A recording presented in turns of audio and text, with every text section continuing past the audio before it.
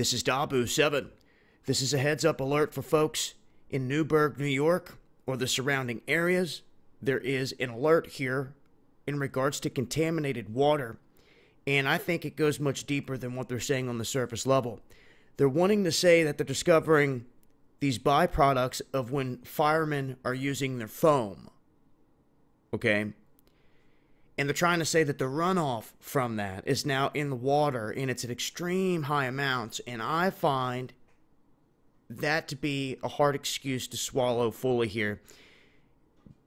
To have this profound of an effect, they would have to have these individuals, these firemen, out there blasting and testing these things all the time. And I know they do test sometimes, but they would have to be doing it a whole lot on a consistent basis and just letting it run right on off into the waterway. And they would have to be knowing they're doing this instead of getting rid of it the right way or catching it and not allowing it to get into the water system. If they know that it will affect people this bad, then why are they continuing to let it go into the water?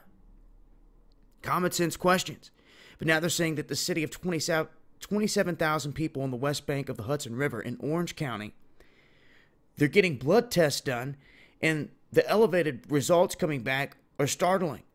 It's showing that the water supply is highly contaminated.